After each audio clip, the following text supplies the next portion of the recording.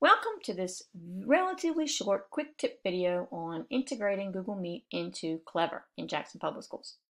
For those of you who are elementary school teachers, there is a great module in the Google Classroom for teachers in Canvas that goes all the way through all of the steps that you can use to integrate Google Meet into your Google Classroom. You are welcome to use Clever. Either application is fine.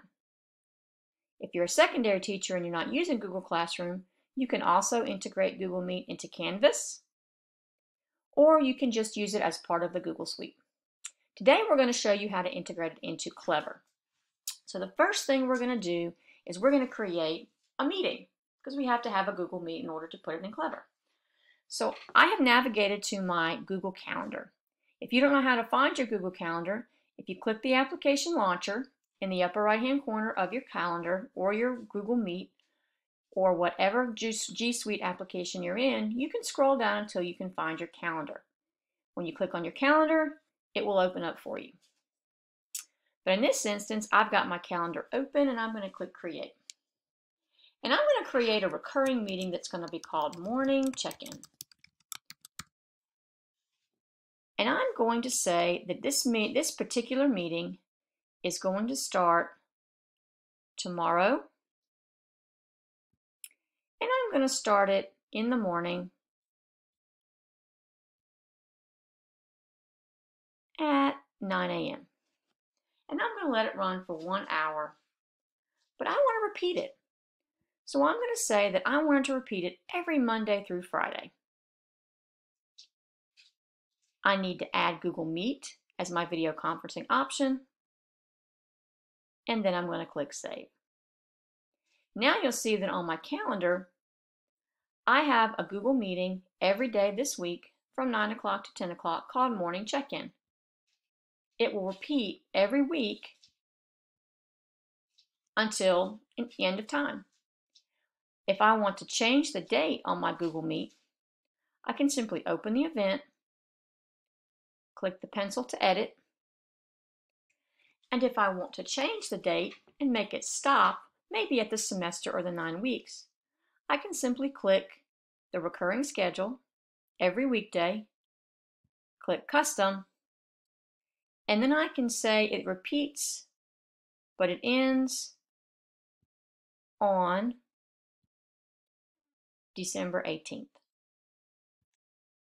Now my calendar meet will be every Monday through Friday from now until December and it will stop. So now I'm going to click save. I want to add that time change to all my events and click OK.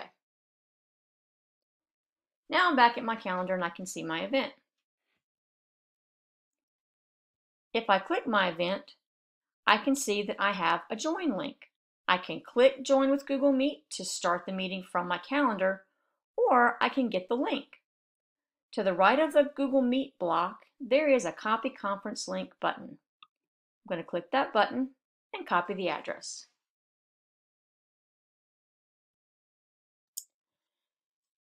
Now I'm going to go back to Clever.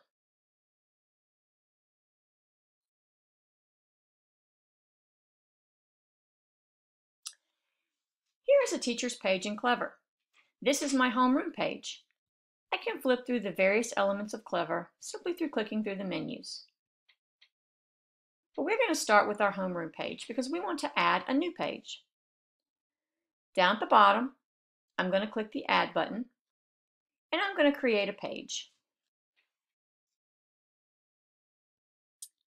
I'm going to edit the name of my page, and I'm going to call it the Daily Check-In Page. I can give it a description.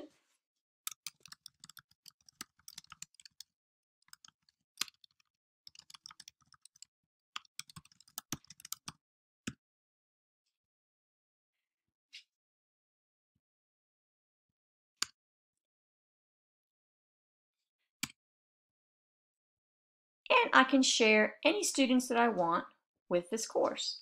I'm going to select just one of my classes because this is just the daily check-in call for my second block. So I'm going to click Save and it's going to automatically roster all of the students in my class. Now that I've created my page, I want to add a link. And I'm going to paste in the Google Meet URL.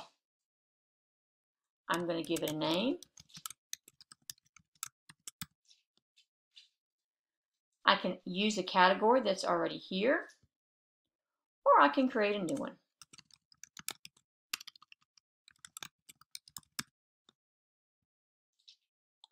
I'm going to select an icon and click Add Link. Now, I have created a new page on my homeroom page called Daily Check-in Page. All of my students, whenever they log in, they will be able to see that page.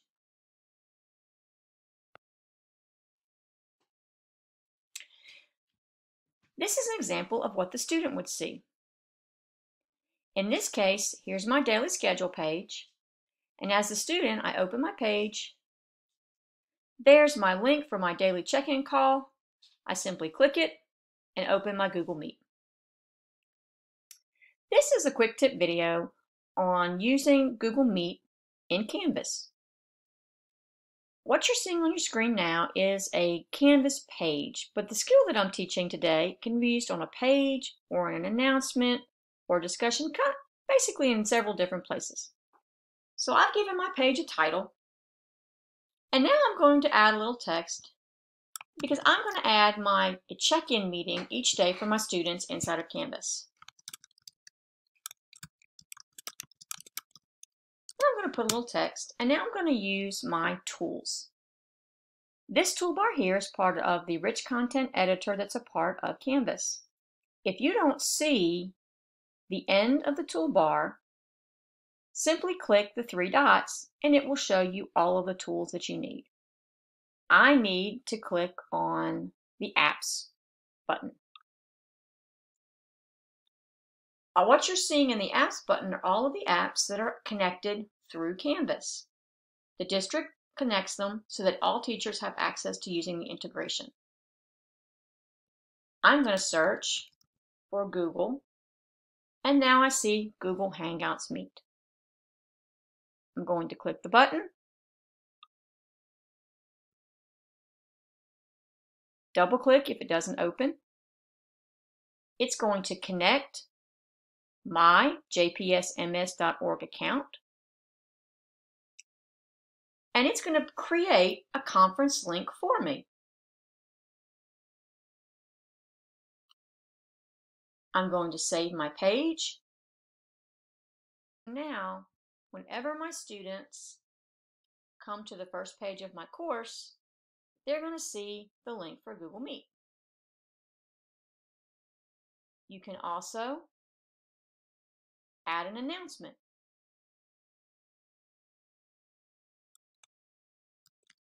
Good morning. Check in. I'm going to click my apps button. Search for my Google Meet.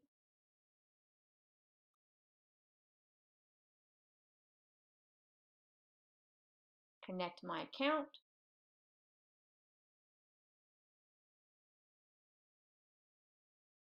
Click Save.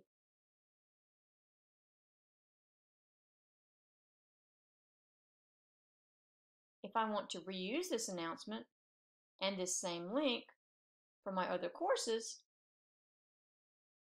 I can simply find the course and copy the announcement.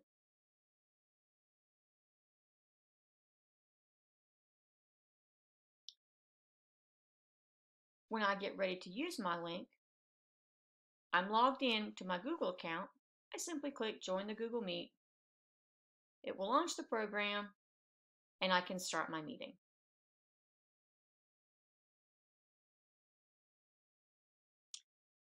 In this example, I'm using the blueprint as part of my course to add my Google Meet directly to my syllabus. I've opened up my syllabus. I'm adding a link to my course virtual con conference expectations. I'm going to write join daily. I'm going to click my three dots, find my apps button, find Google Meet, double click,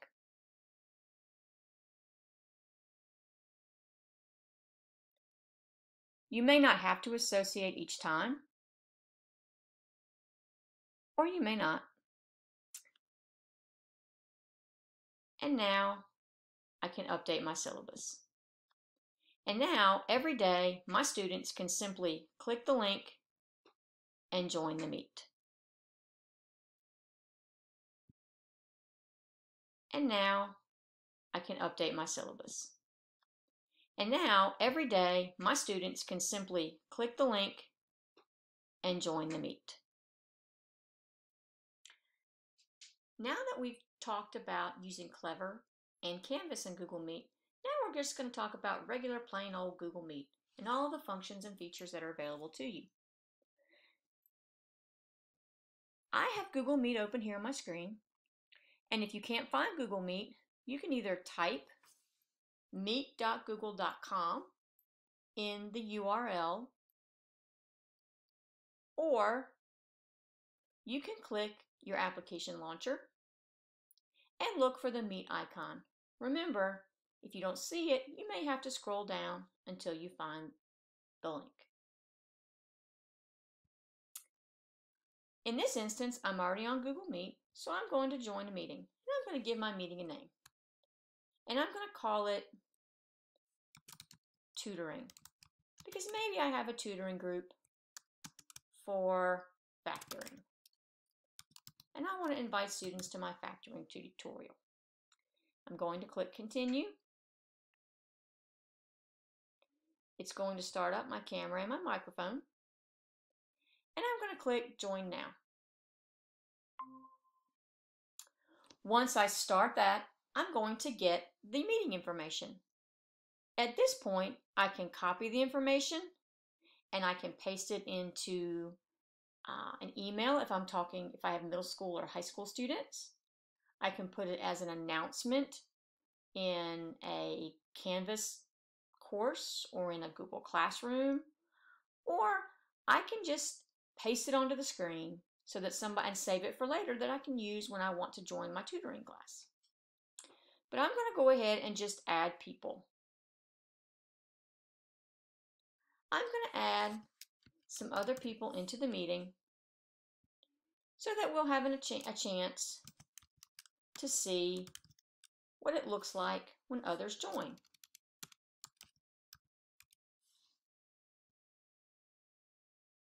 And I'm going to send each of those people an email.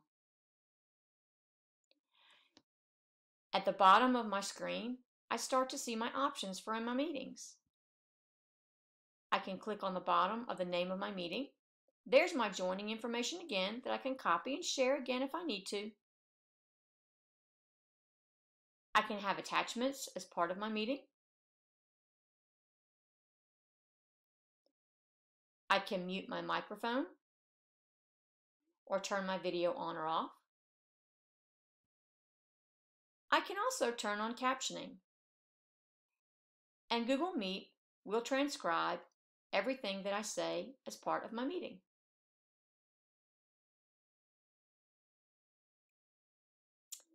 If I want to share my screen, I have options. I can even share just one of my tabs.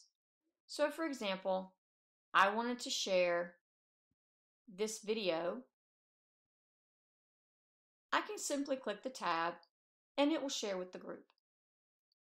At the top of my screen, it's telling me that I'm sharing my tab and then I can stop at any time. I will need to go back to my meeting in order to see and control the meet. I have other options. I can record my meeting. If you are going to record a meeting, Please make sure that everybody knows that their meeting is being recorded. I simply click the button. It's going to remind me that I need to ask and tell everybody that I'm recording the meeting and that everybody has given permission. If I want to stop the meeting, I simply click stop. Google Meet is going to automatically record the meeting, send me an email when it's rendered, and store it in my Google Drive. I can change the layout of my Google Meet.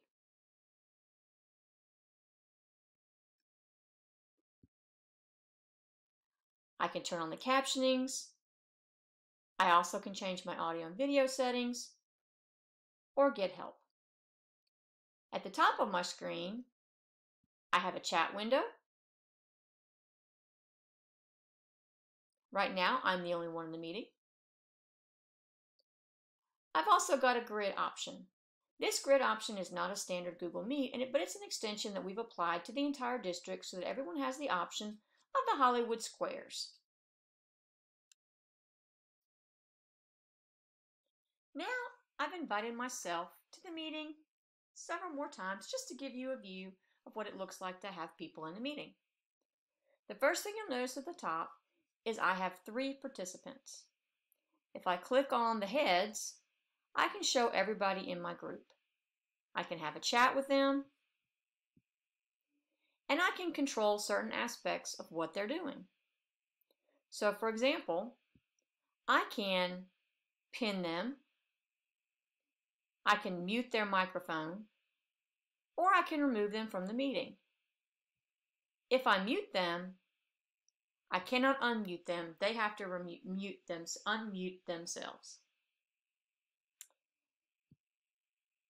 I also can add them to the grid. I can show only those with video and eliminate the circles with the letters. I can have it to where every time there's a speaker, they're highlighted. I can turn on my grid by default or put myself in the grid.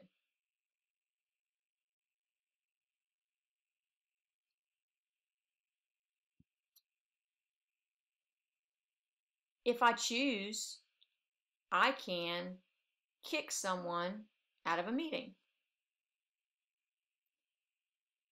I'm going to remove myself.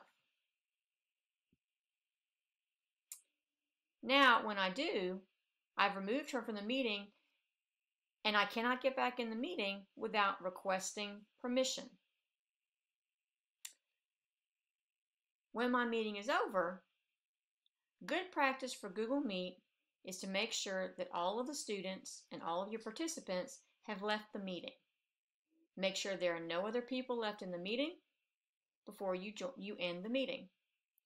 By default, Students in JPS cannot initiate or start a Google meeting. Only the teachers can do that.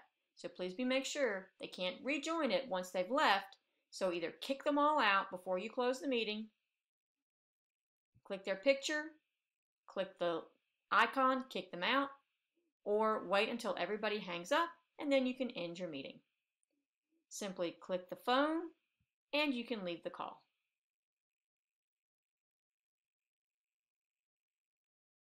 Lastly, there's really not a whiteboard that's embedded in Google Meet. However, there are a couple of simple options provided by Google. One is called Canvas, the Canvas app for Chrome.